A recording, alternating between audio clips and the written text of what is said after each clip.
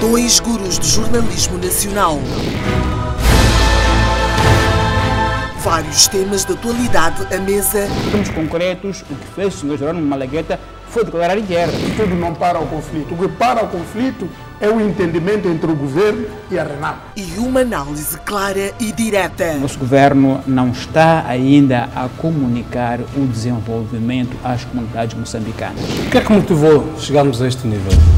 Análise de cada ponto com alta visão. O povo está a assumir eh, a liberdade de expressão, a liberdade de manifestação e vai exigir cada vez mais.